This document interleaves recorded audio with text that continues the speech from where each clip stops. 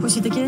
Así como lo viste en el avance que acaba de terminar en el próximo capítulo de tu telenovela La historia de Juana, estaremos viendo que Jenny está muy ilusionada con el regreso de su padre Ramón y es por eso que esta estaría reunida con toda su familia, la cual no está de acuerdo a que éste asista al cumpleaños de Jenny. Pero vemos que luego de esta discusión de esta familia estaría llegando Jenny a su cumpleaños, el cual hace presencia Ramón con Margarita, su otra hija. Pero vemos que Felipe no está de acuerdo y estaría echando a Ramón de la fiesta. Pero vemos que Jenny le estaría diciendo a Felipe, su hermano, que nadie se va de su fiesta, pero que si él quiere irse, que se vaya él.